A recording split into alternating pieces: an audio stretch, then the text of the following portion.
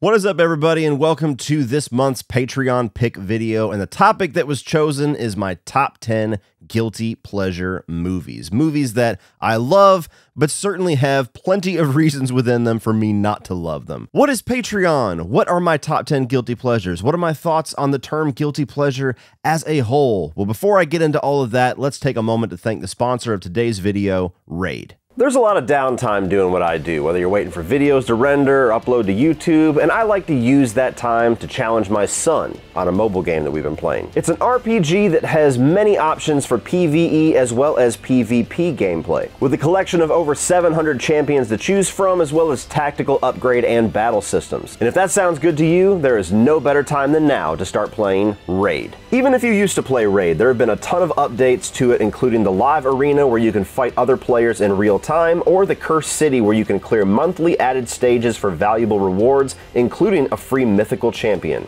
And Raid, along with its 5 million monthly users, are celebrating its 5th anniversary. And to celebrate that, they're hooking you up with some awesome rewards. And you can get all of this and two epic horses right off of the bat by using my exclusive link or scanning the QR code on screen and using the promo code FESTIVAL5. So be sure to check out Raid during this anniversary promo and snatch up all those cool rewards. And thank you to Raid for sponsoring today's video. So guilty pleasure is a really interesting term when talking about something, especially when you're talking about film. And it's something that's always always been there, but here recently, at least from my experience, the term has started to gain a lot of negativity around it. People get very defensive whenever you bring up movies as guilty pleasures, and you tend to get lectured about how how can you tell me this is a guilty pleasure when nobody can be right or wrong in their opinion on films, and why are you feeling guilty about the things that you enjoy?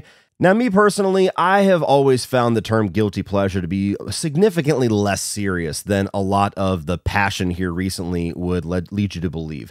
I don't feel guilty about anything that I actually like or anything that I enjoy, nor do I expect anybody else to do. And I don't really think that's what guilty pleasure, while I understand the very direct interpretation of those two words, I don't think that's exactly what it means. It's just a film or anything that we enjoy that we do know if we kind of want to take a more critical eye to it is maybe not the best thing. Like fast food is kind of a guilty pleasure. We know it's garbage for us but we like it. It's fun. It's delicious. It's cheap, or at least it used to be cheap. So, with all that being said, guys, let's kick this thing off with number 10. And I somewhat tried to rank this based off of guilt. the higher you go on the list, the more conversation I think is necessary to kind of uh, explain what specifically about these movies that I enjoy and uh, what I see probably most people taking the opposite stance on. So, coming in at number 10 for me is a film by Renny Harlin that is titled Deep Blue Sea. And this is actually the only shark movie besides the original Jaws that I actually enjoy. Uh, unless there's one that I'm forgetting, but I really don't think that I am. I tend to not like shark movies whatsoever, where you have the original classic Jaws that will always be the best of the best, in my opinion, uh, and is one of those sacred movies that I I would not want the job of remaking it, so I don't think anybody else wants the job of remaking it. Deep Blue Sea is a significantly more goofy and campy take on a shark attack movie. You have this research facility in the middle of the ocean where they have these tiger sharks that they're genetically modifying their brains to make them super smart. And essentially, these sharks come up with a plot to work the humans around like pawns to uh, to uh, escape from this confinement and to get into the ocean. And along the way, a lot of people get ate. So you've got Thomas Jane in here, you've got LL Cool J, you've got Samuel Jackson, a couple of other people that you'll recognize. And this is a really fun movie if you're along for the joke and along for the ride. It's not meant to be taken seriously. It is not a movie that you want to walk in with a whole lot of logic. Uh, you want to uh, just kind of sit down and enjoy the crazy, ridiculous ride that it takes you on. And I think that it is a significantly enjoyable, uh, ridiculous ride. I mean, you've got sharks that are pushing LL Cool J into an oven and you're getting like cooking puns out of him. You got Thomas Jane showing some of that early Punisher promise here where he's the only one that kind of knows how the sharks think. Uh, you've got one of the greatest surprises and deaths in horror movie history that just comes out of absolutely nowhere. I remember being in the theater seeing this and everybody just lost their shit. Uh, I'm not going to say who it is, but it's somewhat common knowledge at this point which character it is. But uh, yeah, I mean, you even got Michael Rapaport in here, giving a little bit of that that New York snark. So It's a really fun movie, but if somebody came to me and said, that thing is way too stupid, I can't get into it, I'm not going to argue. Like, I, I, get it. I'm just along for the ride and I enjoy the stupidity. Coming in at number nine is one of my favorite comedies as a child that I still maintain a lot of my enjoyment for as an adult, and that is Beverly Hills Ninja.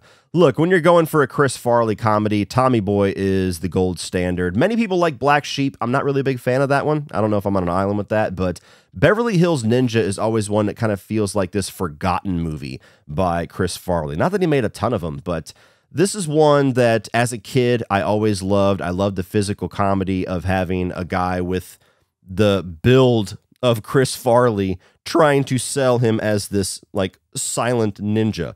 And uh, there's this whole thing where there's the great white ninja, and he's supposed to be the one to fulfill that prophecy, but he's Chris Farley, and he does all the things that you expect Chris Farley to do on screen, just be a giant oaf and so, all throughout the movie, he's trying to f- live up to this legacy and is so far the opposite of what any sensible ninja actually would do that it's just comedy gold to me. You got Chris Rock in a small role here. Uh, but essentially, he goes to America to help this woman out. She enlists the help of a ninja to protect her from her gangster boyfriend. And unfortunately for her, Chris Farley was the ninja who was on call the night that she comes.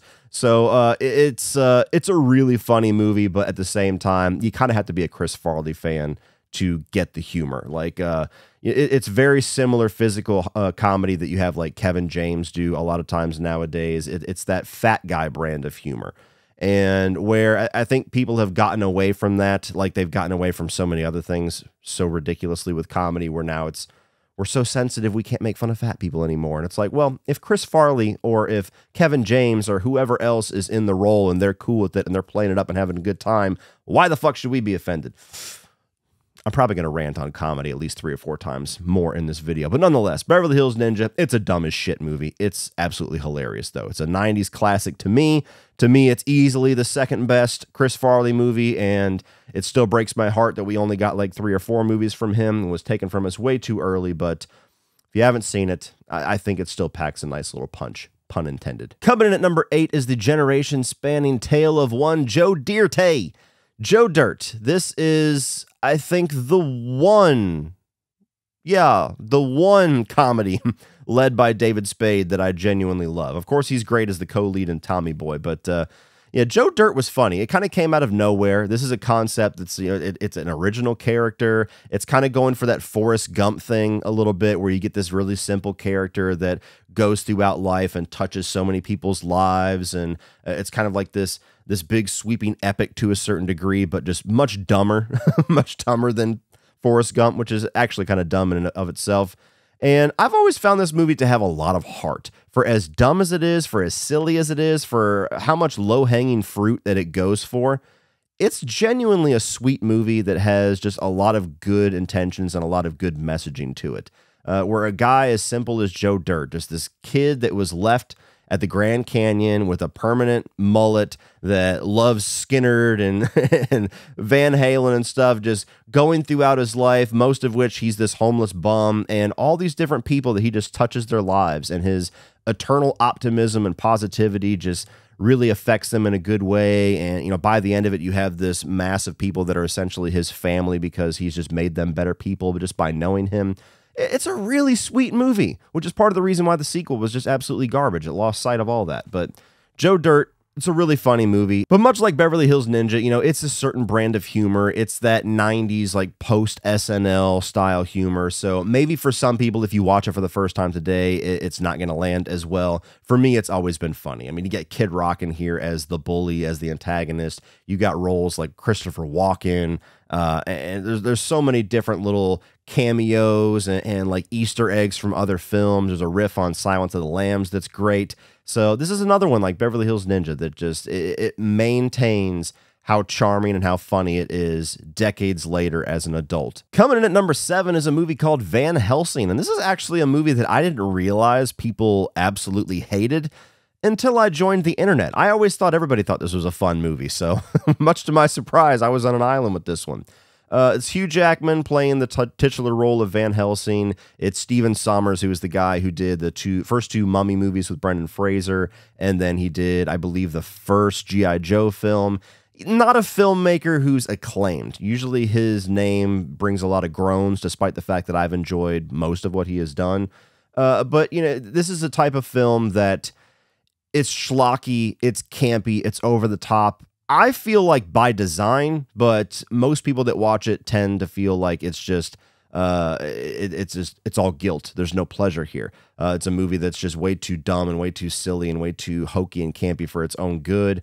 And, you know, I respectfully disagree. I have fun with this one. I think that Hugh Jackman's fun in the role. Uh, obviously, he can lead a movie very easily, so he's very charismatic. I think that despite her accent being a little bit too thick, which also is kind of leaning on the campiness, uh, Kate Beckinsale, I enjoy in this one, and I enjoy her chemistry with um, Hugh Jackman. I, I, like all of the original Universal monsters and the little twist that we get with them here, where you got Frankenstein, you've got the Wolf Man, but he actually like tears the human flesh away, and so there's like a wolf underneath instead of the wolf like sprouting from skin. Uh, even Dracula, he's got like this 50 foot wingspan. He's a gigantic bat instead of turning into a little bat like the old Bela Lugosi stuff. So I thought it was fun and creative at the time. I re- recently revisited this last year when we did the uh, Creatures of the Night edition of 31 on 31. And I think Brian had this as his 31. I think Sean had it significantly low in his list because it was a first time watch for him. I, it was much higher on mine. I have a good time with this one, but I get it. I, I, get that there's problems. I get this isn't for everybody. I get that it uh, it doesn't take itself seriously enough in the right areas and takes itself too seriously in the wrong areas in certain ways. But I've always found this to have kind of a goofy charm to it that still works for me as an adult. Number six is a little movie called Trick or Treat, not Trick or Treat, Trick or Treat. This is a heavy metal horror film from 1986, if I'm not mistaken. And this is one that I was introduced to as a child by my dad. I've told you stories numerous times, but back in the day, basically, my movie library, my movie knowledge, and my movie education, if you will, was limited to whatever VHS tapes dad had. And so this is one of them where you have a kid thick in the heavy metal culture of the 80s who idolizes this uh, frontman named Sammi Curr and he's the the subject of a ton of controversy, kind of like Dee Snider at the time, where uh, you know you had like the PMS or the PMRC, where everything about heavy metal seemed like it was sadomasochistic and uh, sexually abusive and all this crazy stuff. So that type of guy, and he idolizes him, and the guy dies in a hotel fire. But through a, a series of events, with uh, none other than Gene Simmons as the local uh, DJ, he's able to get a copy of the last unreleased record of Sammi Curr. And so when he takes it home and he plays the record backwards, he actually is able to talk to Sammi Curr from beyond the grave. And sinister things start to happen. Uh, this is a really, really niche movie. Like, if you're not really into or educated on heavy metal culture, more specifically, heavy metal culture of the late 80s, uh, then this movie can go over your head very easily. Like, there's a lot of direct commentary here, some subtle, some not so subtle, in regards to the PMRC and the controversy surrounding heavy metal, or even some of the more uh, cultural things like playing your records backwards, which people used to do, and then they would like start to feel like they would hear things, and then they would fuck up their records and have to buy more. There's a line directly in the movie about that. So it's a very niche movie. But for people like me that grew up even though I didn't grow up in the 80s, but grew up very educated and very much indoctrinated into the heavy metal culture. Uh, I've always loved this one. It is my favorite movie soundtrack of all time. The whole movie is, is got a music by Fastway, and it's just it's an awesome time capsule of heavy metal in that era. Uh, I love the character of Sammi Curr, and I love a lot of the humor in the movie. The special effects are certainly low budget and hokey. Uh, there's a scene where a girl is essentially being seduced by the the record, and like a little lizard demon comes out. I mean, it's it's got its its elements to it that I could see turning people off or looking at me like, really, that's in your top fifty horror of all time? Okay, but um, it, it there's a lot of nostalgia here but it's also a movie that I just feel like touches so directly onto the culture that I've always loved that I've always gotten a lot of enjoyment out of it. And I actually think this would make for a really cool like legacy sequel. I know we're all getting burnt out on legacy sequels, but If you could get somebody that loves this movie, that's passionate about it, like Corey Taylor, uh, who can also maybe even do the soundtrack. I- I'm pitching this to Corey Taylor right now. So, Corey, I know you're watching. Like, call me. We can make this happen. Get somebody like Corey Taylor, who's in the industry and can pull some strings and do a legacy sequel where somebody, now that records and vinyls are starting to become cool again, who gets a hold of that record in modern times and then unleashes 80s metal onto modern times. Like, I would want to write that script. I would want that to happen. But enough pitching my ideas for movies. Number six, Trick or Treat. If you like heavy metal culture of the 80s, definitely check it out. It's a really fun movie. It's a really cool movie, uh, but it's not for everybody. Number five, 90s Kids Unite. This one is Good Burger, which is one of the only movies that came out of the All That, uh, which is like the kids' version of SNL. And, uh, you know, it's odd timing that I had this on the list. And here, just within the last week, we got that documentary, The Quiet on Set, about all of the the real life horrors that surrounded all of the kids that worked on uh, Nickelodeon shows in the 90s and the 2000s. So I guess guilty pleasure has multiple meanings when we're talking about Good Burger, especially since Dan Schneider is one of the people in the cast playing the manager. But Good Burger, you have uh, it was a skit that was a very popular recurring skit on all that, where you had Kel Mitchell playing Ed, the the really dim-witted cashier at this fast food restaurant called Good Burger, and this is the movie version of it where you get Kenan Thompson and you know Kenan and Kel were basically like the Abbott and Costello of '90s kids TV, and uh, they have this kind of rinky-dink little local fast food shop called Good Burger that across the street this monstrous behemoth conglomerate called um, Mondo Burger is opening up. And so it's about fast food rivalries, and there's a lot of really silly situations. It's a kids' movie, so I don't know how you gauge the guilt there because, I mean, obviously most adults wouldn't enjoy this to begin with. And as you grow up to be an adult, a lot of the humor and the appeal to it's probably going to be lost on you. But I still have fun with this one. I introduced my kids to it, they enjoyed it. I was very excited for Good Burger 2 last year, and it, it, it was fine enough. It wasn't nearly as bad as I was fearing it was going to be, but it wasn't much better than I expected it to be at the same time. So this is certainly a piece of my childhood that uh, I'll always enjoy this, and I'll always enjoy watching some of the the older '90s Nickelodeon stuff. Although now it just has that ultra ickiness to it because of all the real life stories. It's like, oh, man, yeah. Quiet on set. If you're a '90s kid and you um you watched a lot of '90s Nickelodeon, Get ready to have your childhood ruined when you watch that. Coming in at number four is going to be Rocky Four. And this is a movie that is kind of the quintessential definition of guilty pleasure for me. Uh, this is actually my third favorite, I think, my third favorite movie in the Rocky and Creed universe, uh, followed only by the or, original Rocky and the original Creed. I absolutely love what this movie does, even though it's kind of the dumbest version of what a Rocky movie could be. Uh, it is ultra 80s. It is such a product of its time. There's a ton of uh, music video montages to it. I mean, half the movie is music video montages, and that might even be generous just saying half. Uh, the whole plot of the film essentially revolves around Rocky and Drago kind of being the personification of the U.S. versus the uh, the Soviets for like the Cold War, and Rocky essentially ends the Cold War by defeating Drago at the end of it and inspiring Russia and U.S. to get along. Uh, it's so dumb. It is absolutely dumb as fuck. I mean, it's one of those movies that, like I said, it is very high on my Rocky ranking. I love it. This is probably the Rocky movie that I watch the most. Uh, but when I hear somebody say this is the worst Rocky movie, I don't flinch. I'm like, yeah, I get it. I understand. I know exactly why you're going to tell me why it's the worst. And I don't really have a good argument for you. I just enjoy the hell out of it. And we recently, just a couple years ago, got the director's cut of this, the Rocky versus Drago cut.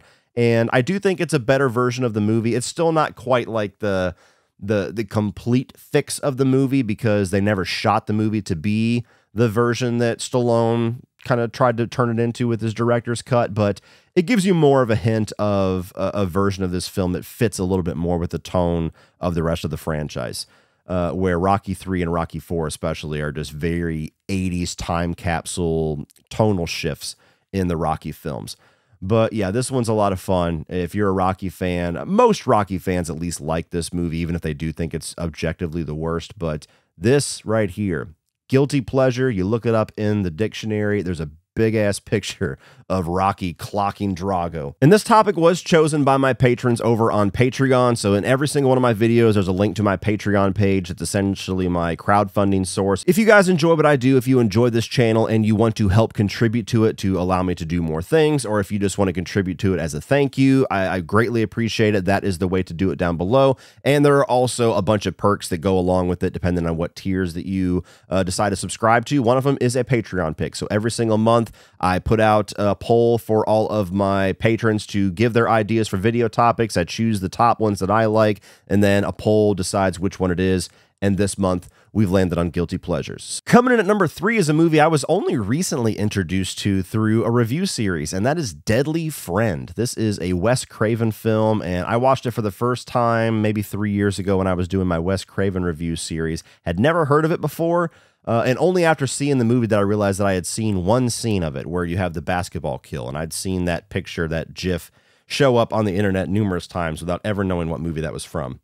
And essentially, what you have here is you have this kid that has built this R2D2 robot type thing to be like his best friend and to uh, to do all of these things that would like seem mind blowing as far as technology's abilities back in the 80s and he befriends this girl who moves next door that is played by Kristy Swanson and they get a little bit of like a cutesy romance going and there's this miserable old bitch that lives across the street who is played by Mama Fratelli from The Goonies or the mom from uh, Throw Mama from the Train if you've seen that one. And through a series of events, essentially, she destroys this robot with a shotgun. And then, not too long after that, there is an accident where Kristy Swanson's character gets killed. And so this kid has the genius idea to take essentially the brain of his robot, BB, and put it inside of this girl, this, this girl that he has fallen in love with that just died tragically, and essentially brings them back to life as one. And the movie was always intended to be a little bit more of like a family friendly sci fi type picture, but because it's Wes Craven, he got massive amounts of pressure from the studio as well as the fan base of things like Nightmare on Elm Street to make it a horror film. So there was, if I'm not mistaken, there was a cut of this film that was the direction that Wes Craven wanted to take, which is more along the lines of like Short Circuit or Batteries Not Included, something like that from the 80s and test screenings were flocked full of Wes Craven fans, and they all just lambasted it because there was no kills, there was no horror, there was no uh, blood and guts and things. And so the studio essentially mandated for him to reshoot this movie and retool it as a horror film. And so it went from being called Friend to being called Deadly Friend. And uh, what you have is absolutely a movie that I refer to as a disaster piece. This thing is incoherent as fuck. It makes no sense. You can tell there's these weird, drastic tonal shifts where they're trying to go from something very, very sweet and family friendly to a chick's head being exploded by a basketball. Uh, there's just insane amounts of tonal shifts and weirdness and, and campiness and ridiculousness in this movie but I had a blast with it because of all of that. Like it's not a popular film. It's not even a film that I would say completely has cult status because I never hear anybody talk about it, but it ended up being one of my favorite of Wes Craven's movies when I was watching through his filmography because it's just so fun to experience this as a so bad that it's good experience. And I actually did a live kind of watch along commentary with my buddy Rudy and he hadn't seen it in years and we were just dying laughing the entire movie. I mean, when you get into the third act and you've got Kristy Swanson lifting grown ass men above her head and going BB and throwing them, it's fucking hilarious. And the movie ends on a note that makes zero logical sense whatsoever with an actual robot busting out of the skin of Kristy Swanson as if putting you know some chips and some wires in her head suddenly grows a full robot exoskeleton it, makes no sense but it's fucking awesome. I mean, again, this this this actually might compete with Rocky Four uh, on the dictionary side of just being an absolute guilty pleasure because you cannot have pleasure that isn't somewhat guilty with this movie because it's a mess but it's awesome. Number two is M. Night Shyamalan's The Happening. This is a movie that is very often put towards, if not at the bottom of people's M. Night Shyamalan ranking, although unfortunately he's a director that has numerous movies that could compete for that spot. The Happening is a movie that in advertising stages felt like it was going to be this return to form for him. I remember it being marketed fairly heavily as being like his first rated R movie, so there was actually going to be some gore and some kills and I remember that bringing a bit of interest to it and there was a lot of mystery as all M Night Shyamalan movies have in the advertising stage where people are just killing themselves for unexplained reasons. You know, people are just dying all around the world in these really weird, gross, macabre, and, and mysterious ways. And so the movie obviously was going to be about answering the question of why. What is causing these people to do this? And you go and see it, and this is just uh, just like with Deadly Friend, an absolute so bad that it's good experience in so many ways. I mean, you have Mark Wahlberg here, and God bless him. I'm a fan of old Marky Mark, but this was one of those times where he was either horribly miscast or he was just directed really poorly as an actor. And so you get all of these classic moments of like Mark Wahlbergisms with the, the, inflection of his voice and the way that he says things. Planning on stealing something? No, ma'am, we're not. Plan on murdering me in my sleep? What? No. There's a classic scene where he's talking to a like a little fake bush for a solid 30 seconds so that's crazy as hell on one side of it. Uh, you have so many side characters in this movie that are ridiculous, like the hot dog man, that just stand out for nothing else than just being weird and having no reason to to give the dialogue that he gives. Like people are dying, it's post apocalyptic, and he, he waxes away about the value of hot dogs for like a solid two minutes for no reason, and, and it's awesome because of that. And then you get to the ultimate reveal of the film, which, spoiler alert, I mean, I'm not ruining anything for you, but uh, plants essentially are killing people. Plants, global warming, they're, they're upset at what we're doing to kill the atmosphere. And so they start releasing like toxins, if you will, if you will, into the air. And so uh, if you're around trees or plants or flowers and you piss them off, they'll make you kill yourself, which there's a version of that that could have been really cool the version that we get from M. Night is absolutely asinine. But when you add all of these things up, it makes such a fun experience to watch if you go into it with the intention of laughing. If you go into this expecting like a really solid thriller or solid horror film, you are going to be massively upset by the end of it.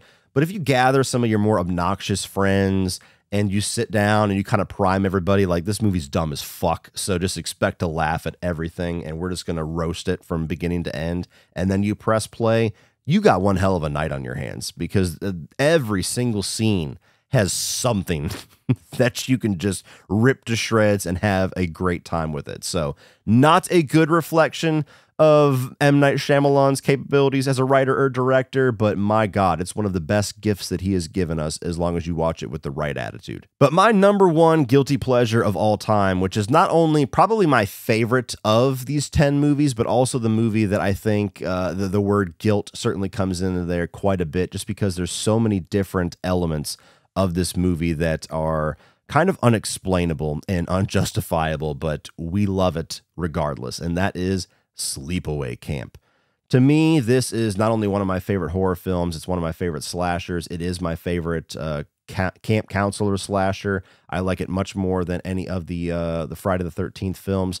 And this is also a film that I would call a disaster piece because I think that it's awesome. I think that it is a mainstay in pop culture, at least for horror fans. I think that it's uh, even kind of an important movie to a certain extent for people to experience if you're really into slashers. But I watched this movie and I cannot for the life of me tell you what brilliance in this movie was intended and what was absolutely accidental. And I don't even know if they know. like, there's so many things about this that are so wrong and so off kilter and are so taboo, especially. Like, this is absolutely one of those movies you could not remake. I mean, there's elements of it that I would love to see somebody try to make, but just remaking this, if they were going to do like a, a shot for shot remake, it, it would never happen.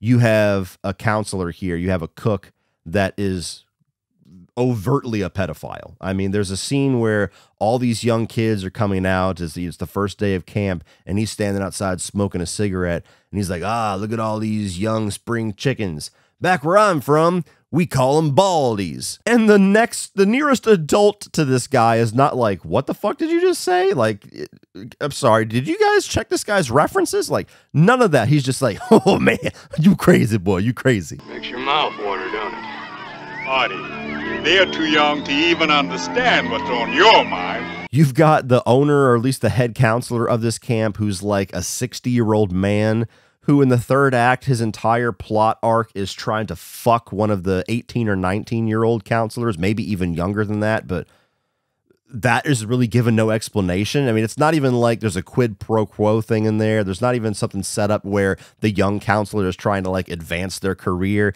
It's just like, yeah, they like each other and they're going to go fuck somewhere as long as they get some time. And it's like, I don't know why this is here. why? What does this lead to other than more craziness? You get to the end of the film, which I'm not going to spoil, but it is one of the most shocking endings of all time if you are lucky enough to walk in blind, which most people will not be because it's kind of well known.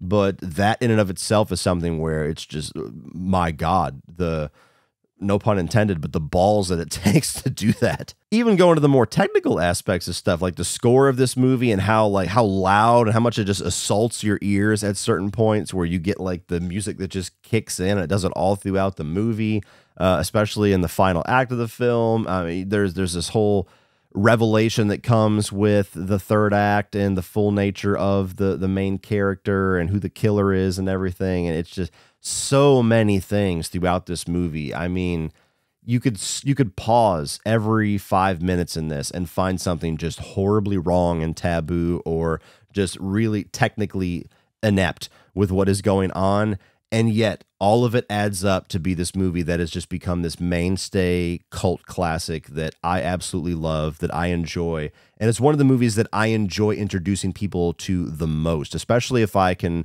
can figure out that they're somebody that doesn't know where things go in the movie and I just get to put it on and just watch them.